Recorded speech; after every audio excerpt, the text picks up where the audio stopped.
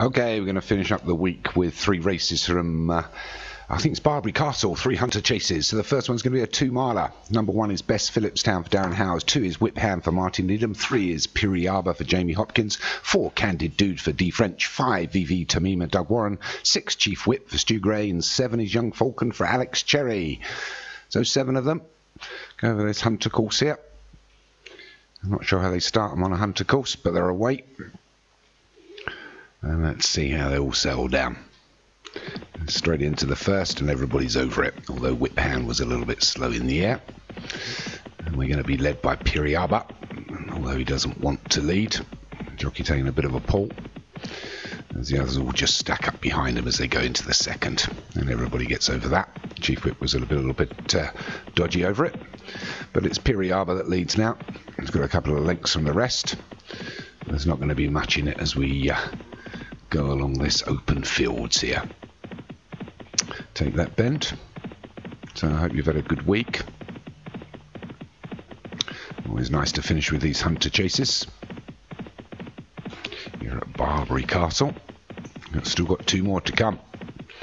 So uh, if you're in them, there for the 0 to 100 uh, horses. Gives everybody an opportunity, opportunity, excuse me, an opportunity to win. They take the third, everybody's over it. Certainly gives the lower chainers in the hunt uh, a good shot at it. Uh, the fourth, and it's still Piriaba. Jumping well. A few cars, a few people there. There's the finishing line. Uh, circuit to go, mile and a quarter. It's still Piriaba. Leads by four to the rest. They get over the fifth, everybody's over it. One that jumped well was Whip Hand from Martin Leadham, who's now taken up second place. He's being followed, followed through by VV Tamima. And we've got Candid Dude, Chief Whip out wide, Best Phillipstown, and Young Falcon. So they're all starting to bunch up a little bit now with a mile left to travel. It's Piriaba that takes them into the six. Everybody's over it. But Piriaba and Whip Hand are the one and two at the moment. Three is Candid Dude. On the outside is Chief Whip. And inside is Best Phillipstown. The purple silks against the fence's Young Falcon. And then VV Tamima just being uh, pushed along a little bit to keep up with the pace. So Piriaba's jockey looks round, wonders where the rest of them in are. They're actually getting further back. But Best Phillipstown wants to cut that lead.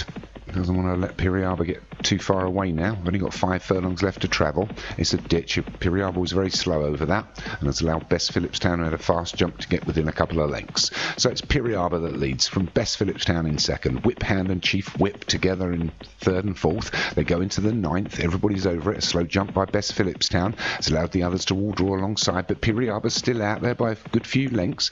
Jockey starts the whip now. So Piriaba, three and a half furlongs left to run. It's Piriaba from Candid Dude, Chief Whip on the outside, Young Falcon, Best Phillipstown, Whip Hand and VV Tamima have got a bit of work to do.